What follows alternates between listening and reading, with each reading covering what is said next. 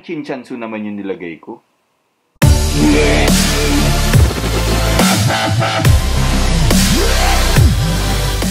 Hi guys, it's Jace again and welcome back to my channel. So, I know it's been a while since my last video. I'm really sorry, naging busy talaga with work. But today, nagkaroon tayo ng, nagkaroon tayo ng konting time to do a video. This will be a different video because I will be trying to follow a tutorial sa YouTube from a local YouTuber. His name is Quiz Kiko. Actually, a friend of mine sent a video, the link of that video uh, to me sa Instagram and uh, requested na why don't you try to make a video na I tried following a tutorial of a YouTuber. I know uh, yung ganong klaseng video naging uh, naging viral siya or nag-click siya last year pa but I decided to try uh, it out because it will be a different video because actually it's a makeup tutorial. It's a makeup tutorial for men. It's very basic makeup tutorial and well beneficial siya for me because hindi ako marunong mag-makeup. I don't know how to put makeups. I'm the type of person na uh, powder, lip balm, and I'm good to go. But today, I think this will be beneficial for me because uh, I will be learning a lot from this video. Actually, napanood ko itong video niya because, syempre, chinag ko muna kung meron ako mga gamit or meron akong yung mga products na meron siya. So, thankfully, apat lang yung, I think, tatlo or apat lang yung products na ginamit niya at meron din naman ako noon. Well, except for foundation because I don't have foundation. Naghanap na lang ako ng alternative para uh, magaya natin yung video niya. So wait lang, nag-start na siya putting um, yung foundation stick or yung concealer na stick. But um, since nag-start na siya, I'll be putting first moisturizer. So I'll be using this one, Celetec. So ito yung usual na moisturizer na ginagamit ko kapag parang everyday lang naman. Kasi nga um, wala lang. Kasi ito yung meron ako. So, what I usually do, since sa akin naman to, concentrate the product sa center ng face mo, tapos spread it out para may dimension. Buka ng sponge. Depende rin kasi sa ano eh, kung ano talaga yung concern mo sa skin mo. Ako kasi, vagueness lang talaga to. We have an idea already kung paano natin siya gagawin. So, ganito lang yung kinuha ko. Yan. And then, lalagay na natin sa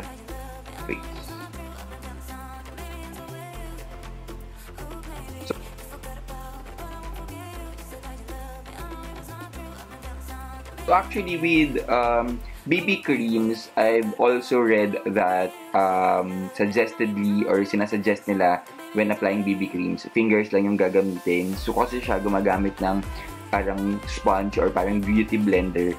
Uh, meron din naman tayo noon pero we'll try to use fingers kung kaya naman para at least mas simple, mas kung everyday look kasi syempre ang hirap naman kung gagamit ka pa ng mga sponge. So we'll be using lang fingers. So Okay na sa akin kahit makita yung konting pimple, konting blemishes. See, yung application niya hindi na rin maayos eh. Ginaganyan ko lang siya. Kasi sobrang madali yan. Tapos yung pin side para i-absorb yung excess. Okay. Gamitan ngayon natin itong Wait lang, ang bilis niya. Wait lang. So guys, I'm not a professional so hindi ko alam kung tama yung strokes and all ginagawa ko.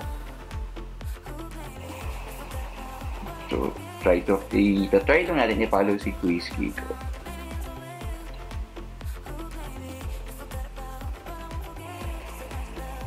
O dapat yung lips ko nalagyan. Parang chinchansu naman yung nilagay ko. But anyways, medyo maganda din to kasi nga parang uh, pati ay bago, medyo natakpan niya. Yun nga lang sa video, sobrang iwanag. Parang okay naman na pala. Alabat sa video, sobrang puti. Hindi ko alam kung bakit put ang sobrang puti sa video, pero sa sa totoong buhay naman, hindi naman siya ganun kaputi.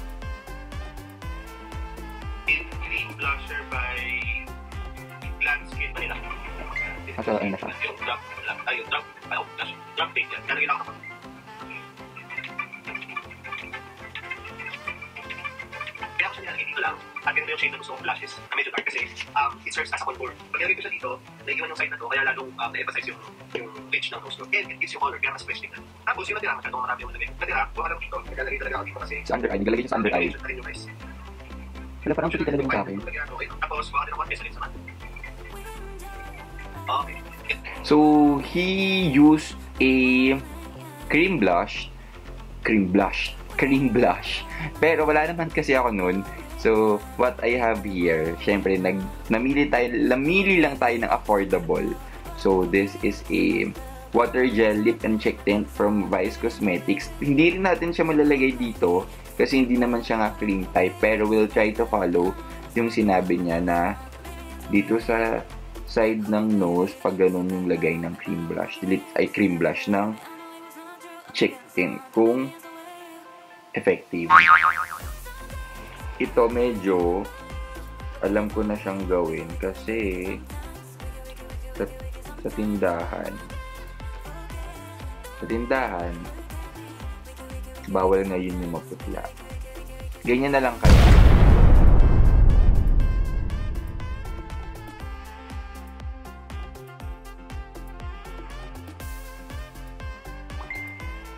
Hala, bakit ganito? Bakit sa kanya parang ang perfect? Parang, sa akin parang nasampal lang. Ba't ganun? Niya maglalagay daw sa side ng. Let's try kung bagay. Ano nangyari ba? Pero parang medyo okay naman. Sige, okay na yan. Wala tayong magagawa. Hindi ako magaling sa ganito. Yan. Tapos, pwede na to. Makakalis na ako ng ito lang gamit ko. Dalawa lang products sa Ay, ginamit niya na rin sa lip. So, gamitin natin. Um, ko mag-stick out yung eyebrows ko. Talagyan ko siya ng. Bilis naman niya. So, ito pa lang nagagamit natin. Ito pa lang. So, clear uh, brow gel. Gamit din tayo nito.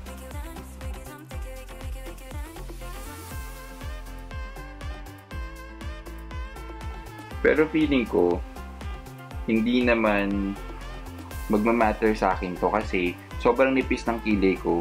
Kaya parang wala namang i-gel. Yung nangyari sa brow gel niya, sabi niya kanina, nag-iba na yung kulay, parang nag-dark na. Yung sa akin kasi white pa rin yung brow gel ko. Because, uh, yun nga, yung kanya daw kasi, uh, pag naglalagay siya siguro ng base sa face, nasasama yung kilay, tapos lalagyan mo ng ganito, nag-iiba yung color. Uh, so, yun, nakita ko rin siya ngayon since nga naglagay tayo ng cream kanina, sa kanya naman kasi concealer ang nangyari. Ayan. So, nagkaroon siya ng uh, brown or parang skin tone color dito na parang pag pinasok ko siya dun sa brow gel na lalagayan, mai-infect. May infect. Mai-infect yung ano, mahahawa yung buong lagayan. Yan. So, let's continue. Kung nahiya kayo bumili ng makeup na like yung mga setting makeup, pwede na to. Kaya lang nasa malaking lalagyan. I don't usually use this ng ganito at dinadala. Yung ganito ko nasa kotse, yun yung pang touch up ko pagka oily. So, ginagawa ko lang yan. Tapos yung sponge nyo kanina, set nyo lang.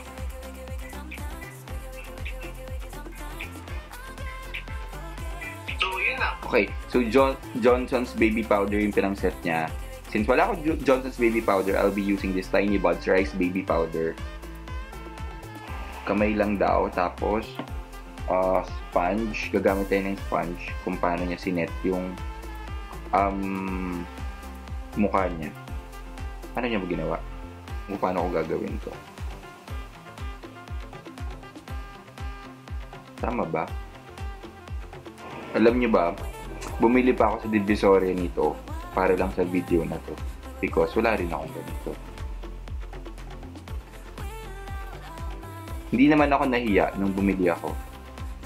Kasi sabi niya kanina, yung iba doon nahihiya ako naman, hindi naman. Hello, parang mali na, feeling ko mali yung nagpaglalagay ng powder na to kasi maputi na siya kanina. Ngayon, espasol na siya. Hala, ang puti niya. Tapos na, ayos, ayos na ako yan. Sobrang minimal lang product. And uh, you can look your best na. Ito, 399, medyo mahal. 299 yata, 399, medyo mahal. This one is 150 and this one is uh, parang less than 100 yata. Parang may mas mura pang version to. Gusto niyo pa ng mas murang concealer, pwede niyo pang bilhin. Tapos Johnson Johnson. Yan. Final look, um, nung pinalo natin yung, yung tutorial ni Quiz Kiko, actually, in-adjust ko lang yung ring light because feeling ko dahil sa ring light kaya sobrang puti because sa mirror naman, hindi naman siya ganun kaputi. So, in-adjust ko lang siya uh, para uh, makita nyo talaga how it looks kapag sa um, totoong buhay. So, yun.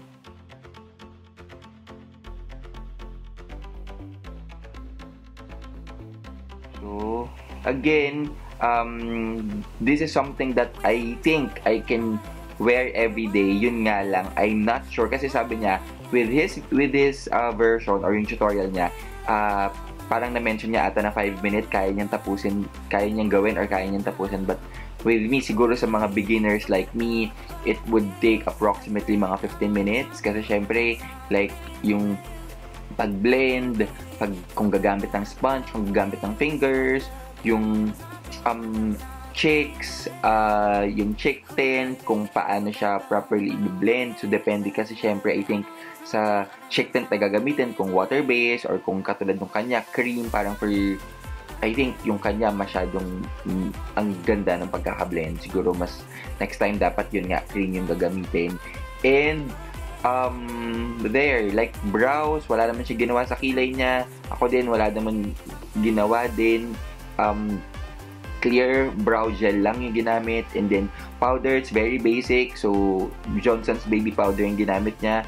With me, it's Tiny Buds powder. It's a rice uh, powder. So, yon uh, what else? With the base, he just used concealer. Again, concealer from Maybelline, I think. But with me, since wala akong concealer, wala din naman ako foundation, I tried to look for a cheaper version na lang or an alternative which is BB cream. So yung ginamit kong BB cream, all, all the products that I've used today, I'll put it in the description box below including the price. Uh, so there you have it guys.